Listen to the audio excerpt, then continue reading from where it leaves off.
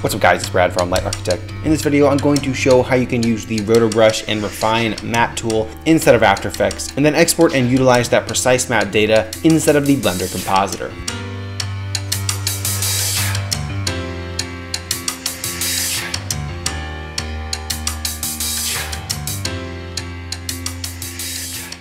Most of you guys already know what rotoscoping is, but for those of you who don't know, rotoscoping is the process of cutting out an element from your live action shot so that you can then occlude it over top of your background that you're adding to your scene. So for example, in my case, if you don't have a green screen behind your actor in your live action shot and you want to add this full CG environment in the deep background, we're going to actually have to cut out frame by frame using rotoscoping around our character here so that we can actually put the CG environment into the deep background. So I'm going to be using this composite I've created here inside inside of Blender a while ago as an example for this tutorial, but of course this tutorial applies in many different areas. Uh, this is our compositing node tree inside of Blender, but uh, have no fear because the rotoscoping part of this tutorial is just going to be these guys right here. So it's going to be a very simple tutorial on how we can create that matte inside of After Effects and then utilize that data inside of Blender. So I'll go ahead and show you guys a before and after here of what this rotoscoping data is going to do. So I'll go ahead and take it away here, our character. We have our live action character here that's supposed to be in the foreground of our shot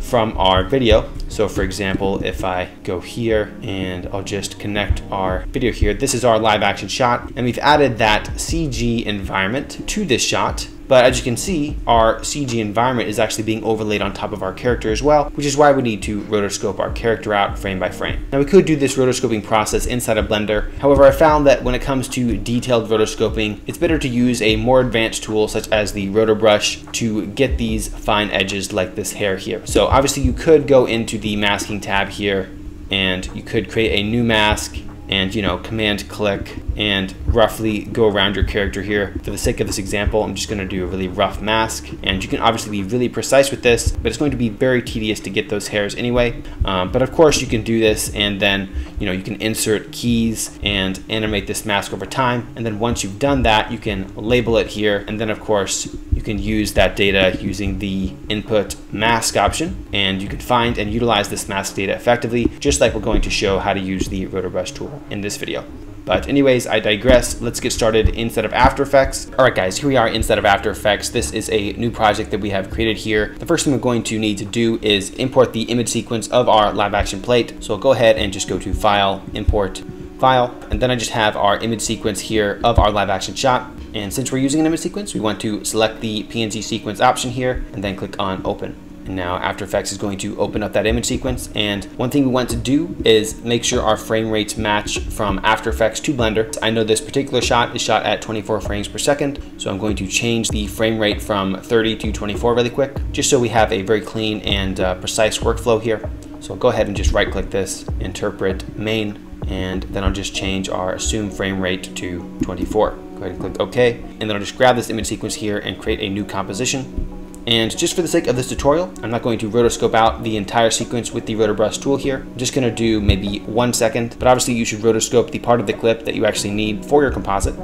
So I'll just do one second here for the sake of our example, and I will trim our composition here for now for the sake of our example. And to use the Rotobrush tool, all you have to do is navigate up to the icon here and click on it. And now we'll double click on our footage and this window will pop up where you can see your Rotobrush icon here. Now it's pretty simple to use. All you have to do is just drag over the portion of the area where you want to roto out and it's going to sort of just guess uh, the edges at first. So we're just going to kind of drag around here and you can see that we're getting a little bit of the railing here. So in order to make sure that's excluded from the roto data, we can press Option or Alt if you're on Windows. You just drag this here and you see that we're getting a nice matte. Now, uh, going back to the hair here, this is one of the reasons why I like to use this tool because we have a refine edge tool. So it'd be really tricky to manually cut out these hairs, but that's why this refine edge tool comes in handy. So once you get the general shape of your rotoscoping data, so you know, the part of the image that you want to cut out and overlay into your scene. So I think this is looking pretty good. Again, option and drag to exclude something from an image and then just drag to add something. And then also I should mention that if you press command and scroll, you can change the size of your roto brush, which is very helpful.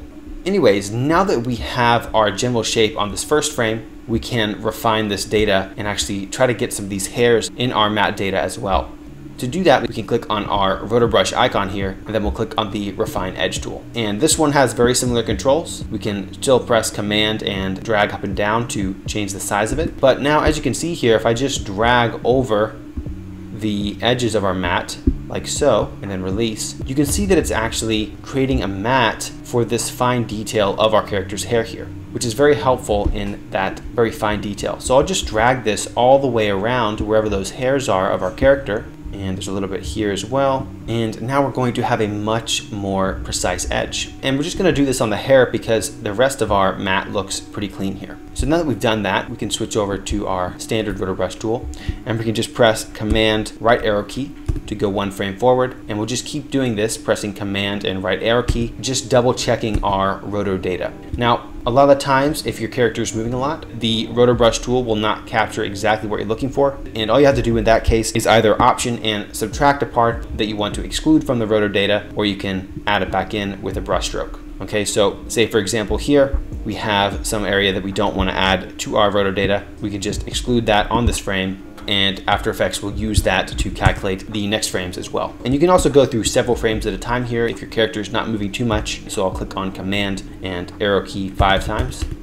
And we'll just see how it's looking and see if the refine edge as well as the roto brush works effectively here. And it's still looking pretty good. Looks like we have a little bit of this uh, metal railing in the background. So I'll just kind of scale down our roto brush tool, then option and click there and now you can see that disappeared.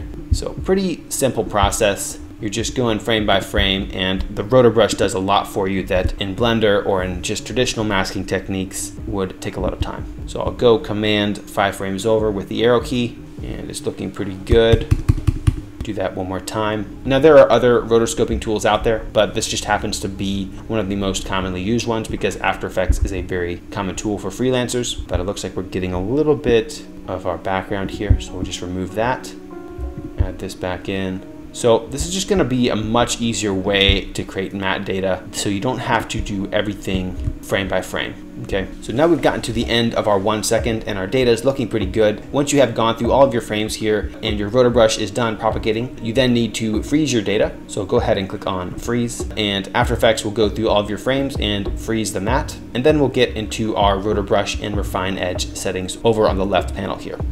All right, so After Effects has frozen our matte. Now we can go back to our composition and you can see that our character is nicely cut out here with the checkered background displaying where our alpha channel is. You can see that our hair is looking pretty clean here for an HD composition. Uh, obviously there's a little bit of a blue edge, but that's just from our environment. Now before we export this matte, I recommend you go into your roto brush settings here and play around with some things accordingly. If your matte isn't looking super precise, mine's looking pretty good, so I don't think I'll have to change too much, but you can play around with the feathering of the matte as well as the contrast. And a lot of the time, if you have kind of rough edges, edges, reduced chatter helps a lot, but just use a lot of these with caution as sometimes they can make it look a little too smooth. So you can play around with these settings and you can also refine the fine detail with the refine edge matte uh, settings right here. One thing that's also helpful if you're going to use this data inside of After Effects is the use motion blur option as well as the decontaminate edge colors. As you can see here, it helps with getting rid of that blue background that's affecting our hair. So if you kind of turn this off and on, you'll notice that it's just decontaminating those edge colors that are coming from the background. Now, since I'm just going to be using the matte data from this inside of Blender, this decontaminate edge colors won't really matter that much, but I'll just select it anyway, just because it looks a bit nicer.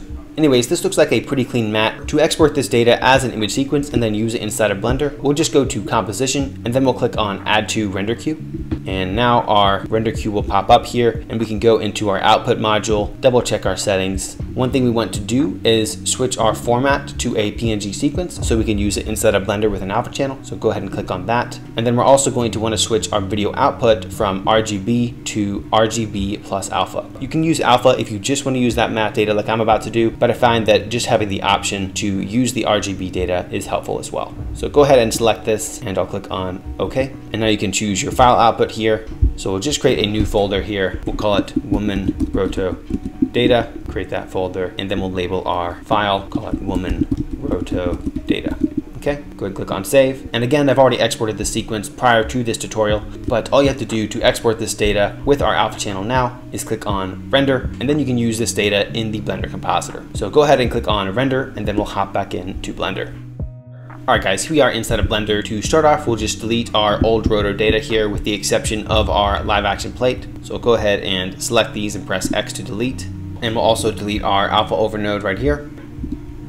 And now as you can see here, we just have our live action plate to work with. And we're going to overlay this live action plate on top of our composite here while using our exported matte data to tell Blender to only overlay that specific portion of our plate. So to start, we'll import our matte data. So we'll go ahead and press Shift A. We'll go to Input, Image, and we'll open up our image here. And this is our woman roto data. I'll grab all of these files, so 280 frames that I've created our roto data for exported from After Effects. Go ahead and open these up. And now we have some roto data to work with. And you can see we have an alpha channel, which contains our matte data. And that's what we're going to use to define where to overlay our plate on top of our composite. So now that we have these two bits of data to work with, I'll press Shift A, we'll add a color alpha over, then I'll drag this on top of our compositing node tree, and then I'll just overlay our live action plate here for now. And now we'll press Shift A, and I'll search for a set alpha node add this between our live action plate and our alpha over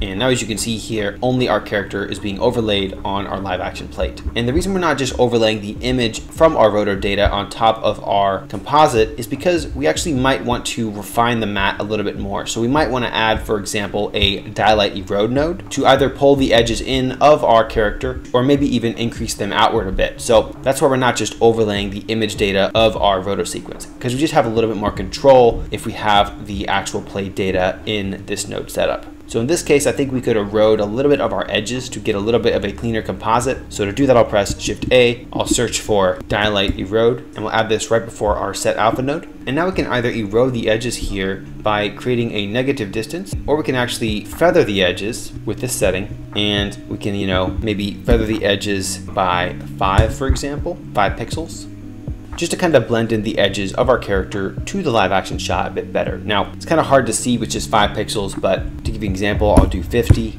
and that should be fairly prevalent. So let's go ahead and check it out. And now you can see these edges are feathered in quite a bit. Now, obviously this isn't what we want. We'll probably just keep this at zero, but this is just one way you can clean up your matte if necessary and match the live action shot a bit better. If your rotored element, for example, has some blur on it where the edges aren't totally sharp. Anyways guys, that is how you can use the roto brush tool and refine edge tool inside of After Effects and then export that data into Blender in order to use it effectively in your composites. I hope this video was helpful. As always, feel free to leave a comment if you have any questions or suggestions in the comment section below. Let us know what visual effects you'd like to learn next on the channel, and I'll see you next time.